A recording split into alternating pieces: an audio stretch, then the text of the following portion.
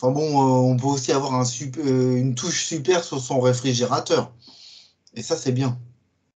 Ah ouais, ça, ça congèle super vite. Bah, je sais pas. Je sais pas à quoi ça sert, mais je connais quelqu'un qui avait un, un réfrigérateur avec une touche super. Et alors? Bah, il a une touche super, c'est quand même vachement bien. C'est super. Bah oui. Que dire de plus?